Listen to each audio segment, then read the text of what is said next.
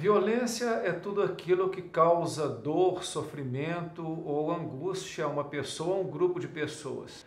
Então, primeira, primeira coisa muito importante, nós percebemos que violência não são somente os crimes, a violência letal, mas tem a ver com preconceitos, formas de discriminação, tem a ver com a violência simbólica que menospreza o outro, que desdenha do outro.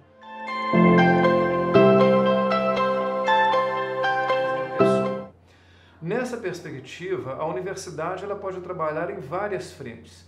Primeiro, no campo da educação, é, enfrentando todas as formas de naturalização da violência que existe na nossa sociedade. Então, sob o ponto de vista da educação, a universidade ela deve tratar dessas questões.